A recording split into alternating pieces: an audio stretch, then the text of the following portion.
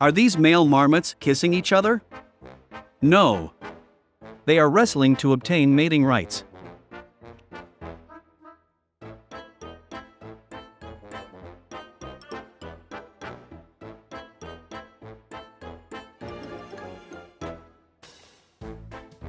Himalayan marmots are a type of large rodent.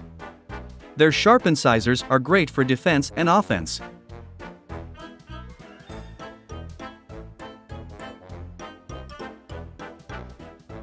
As marmots do not have a high reproductive rate, a female marmot will mate with multiple males in one day and cause male marmots to fight each other.